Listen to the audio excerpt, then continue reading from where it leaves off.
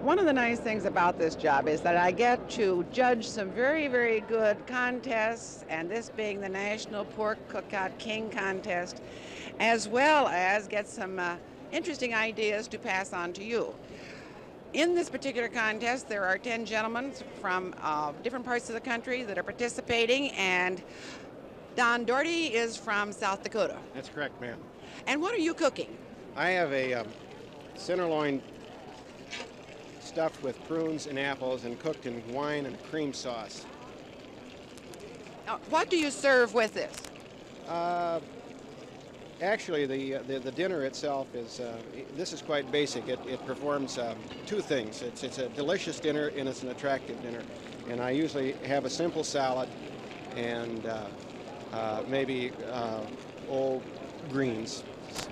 Now, I doubt that there are ever any leftovers, but if there are, uh, are they good? Ma'am, I don't have any leftovers. I've got six kids. Thank you very much.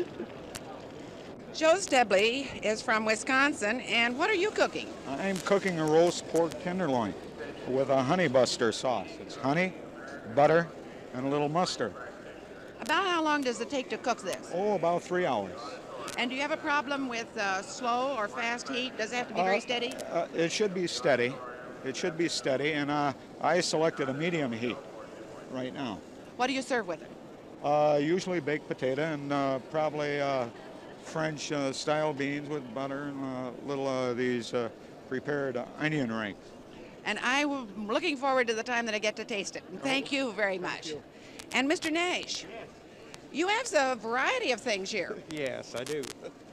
Uh, you are from Indiana, and could you describe the various things that you are preparing? Well, I'm cooking um, pork chops, spare ribs, and these are um, little livers wrapped in um, bacon. They're kind of a uh, an hors d'oeuvre, you know. Yeah, How long does it take to uh, cook the uh, hors d'oeuvres? about as long as it does the pork chop. So this this gives something to nibble on, though, if you That's start right. early. That's right. You put I, almost generally at home. I put them on early and take them off, and they have something to chew on. Thank you, Mr. Nash from Indiana. David Aman is from uh, North Carolina, and those look like ham slices. That's correct. Center cut ham steaks. And how do you prepare them? Well, I have the center cut fresh ham steaks cut one inch thick, and then I grill them for about 20 to 25 minutes over a rather hot fire. And then I make a, a, a sauce up while they're grilling in a saucepan over here. And the sauce consists of half a cup of muscadine wine, which is a, uh wine grown and uh, down in North Carolina, and it has a half cup of currant jelly with it and one tablespoonful of prepared mustard. And then I serve the uh, ham steaks with lettuce and crab apples, and two real good dishes that go with this are potato salad and string beans. Sounds delicious. How do you tell when the steaks are done? Well, just by appearance, really. Uh, after you watch them, they, they begin to brown on the outside, and you have to just check to see how they're coming along uh, with the cooking. Now, are these pre-cooked ham slices or not? No, this is fresh ham. Von Willer is from Missouri, and is this a pork roast? Yes, ma'am. Sure is. What, uh, what have you done special to it? Well, the secret is the seasoning spices. Uh, we use a fennel seed mixed with our spices, which is an unusual spice that's used with pork roast. Normally, it's uh, used with uh, sausage line, but it makes a very different and very unusual and very delightful taste in this loin roast. Now, is this particularly good cold and sliced later?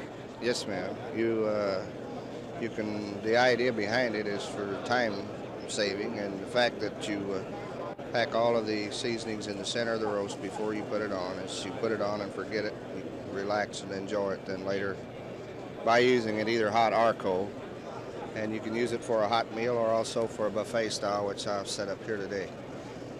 Larry Casey from Illinois is ready for us to, of course, taste. And uh, as you open that up, what uh, could you show us? What do you have in there? This is a uh, seasoned bread uh, dressing. Uh, it's made out of uh, dried breadcrumbs and uh, seasoning, uh, celery salt, onion salt, uh, some Lawry's seasoned salt, uh, bouillon, uh, chicken bouillon as the uh, water in it, put in fairly dry. Now, about how long does it take to cook? Uh, about 45 minutes. I let them cook just a little bit longer today. Uh, being talking to everybody that come by, I let it cook just a little bit longer so I wouldn't have to watch them so close. But they'll cook in 45 minutes, okay. John Nagel is from Wichita, Kansas, and uh, you're a bachelor, but you have something that all the homemakers, I think, that uh, have busy lives will be interested in. Right, I'm cooking a, hot, a Whopper burger today, and it's made from sausage, and I cook two patties of sausage, and then uh, in between it I put uh, either cheese and onion. If you don't like onion, you can leave it out, but I prefer onion. It's very cheap, it's economical, and it's just so simple to make, and the kids really enjoy it. Uh, how long does it take to uh, uh, grill it? It takes about 15 to 20 minutes is all. I cook it over a very slow fire because this uh, sort of seals in the juiciness because pork has a tremendous flavor. And I use a barbecue sauce on the outside and uh, this helps add a little bit of moisture to it. And we certainly like our meat moist when we eat it. Now, I noticed that you have them in the large one too, because then actually, if you have small children, you can quarter them down and they, they could uh, eat just exactly how much they want. Right. In fact, uh, you can feed a family of four with a pound and a half of sausage in this manner. Ed Farwell is from Illinois, and you have a very nice uh, dressing here. Yes, I uh, make that out of the tenderloin, pork tenderloin. And I boil for the dressing. I take and I uh, cut the tenderloin up into small pieces and boil it. And then I use this broth to make my moisture for my dressing. And that's for the dressing on top of the butterfly pork chop. On top of them. Yes, hmm I use it on top of them. I cook my uh, uh, pork chop first, and then after I have it cooked and I have the dressing already prepared just so I can put it on top of it, and then I set it on the stove with wrapped in aluminum foil, and this way I finish cooking it that way. And I put a little dab of butter on the top of it to make it extra good. Right now, you have an also a special sauce here. yes, barbecue sauce that we make up myself. What are some of the ingredients in that? Uh, some of the ingredients is uh, green pepper, onion, uh, mustard, French's mustard, uh, yellow mustard, and tomato paste, and vinegar, and a few others. Thank you. We have oven meals for a long time, but Robert Wolf from Nebraska has prepared a grill meal, or I would call it a grill meal. Yes, I have uh, potatoes and corn, um, beets, onions, and pork chops. Now, what special do you have with the pork chops? Um, well, they're, uh, there's uh, honey and uh, thyme, dry mustard, and uh, fruit juice mixed together and uh, brushed onto the pork chop. Now, how much difference was there in the time that you put on uh, the vegetables on to cook uh, compared to the chops? About 35 minutes. The, ch- the chops were on 35 minutes before, No, no, after. The vegetables were on first. and you just wrapped them in the foil and sealed them. Yes. And now the bread. The bread, that's just uh, uh, garlic bread with some cheese on it and warmed up. Guys just took the chops off of the grill, and, and I just had one taste. They're very good. Could you tell me the way you cook them, including the sauce? The sauce is a cranberry raisin sauce using cranberry fruit juice uh, cocktail and uh, the dried raisins. I put the or the chops on the grill for 45 minutes on a low heat. Then I put the sauce on on just one side for the remaining 15-20 minutes. This takes the salty taste out of these smoked pork chops and gives us the sweet taste of real good pork.